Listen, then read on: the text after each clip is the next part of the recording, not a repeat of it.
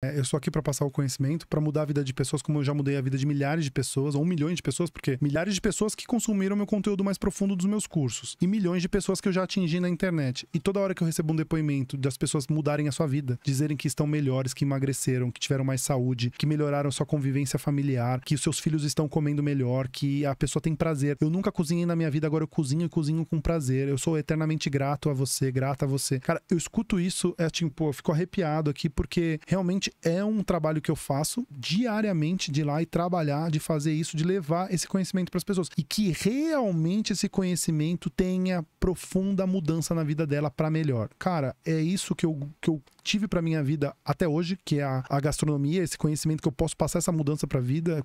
Obviamente que a gente tem muita vida pela frente, que a gente pode ajudar de outras formas diversas, que eu espero ajudar de outras formas. Então hoje eu estou chefe de cozinha, não quer dizer que eu serei para sempre, mas hoje essa mudança que eu proporciono para a vida das pessoas através da saúde, né? Não é da alimentação, é da saúde. saúde. Eu melhoro a saúde da vida das pessoas. Isso me deixa assim profundamente grato. Obrigado por estar aqui, obrigado por fazer parte desse projeto, obrigado você que está aí assistindo, que ficou até agora. Só sou muito grato por isso isso. E isso aqui eu falo sempre, cara, é só o começo. Tem muita gente, muita coisa a vir pela frente. Muita coisa.